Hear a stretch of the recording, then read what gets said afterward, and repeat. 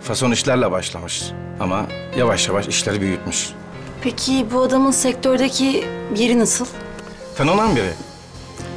Fakat hakkında pek iyi şeyler duymadım. Nasıl yani? İşleri kötü mü? Yo yo. Aksine çok iyi. Çok büyük firmalarla çalışıyor. Hani nasıl söyleyeyim?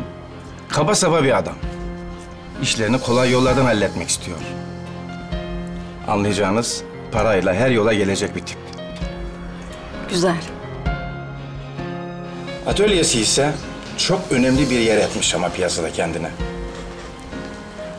Çok güzel. Yalnız Arzu Hanım, bunlarla niçin ilgileniyorsunuz bilmiyorum ama bu konu hakkında çok önemli bir bilgi var. Bunu özellikle bilmenizi isterim. Nedir? Bu adamın maliyeyle ya da polisle her an başı derde girebilir. Neden? Çünkü iş yeri ruhsatsız.